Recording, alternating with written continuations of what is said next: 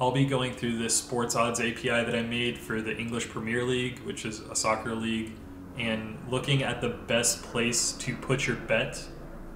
And if you are curious more about the actual code, I'm going to do another video, but the code is in the description below as well. I'll show a chart, but here's the base data that we're looking at, and it's basically providing data across multiple bookmakers. In my example, after this, I'll kind of note Bovada, who I'm familiar with, and show where they stack of the best places to place my bet for that day. This is an easy visual for this data. So the left is the best and it goes to the right in terms of the worst deal on the day to place the bet.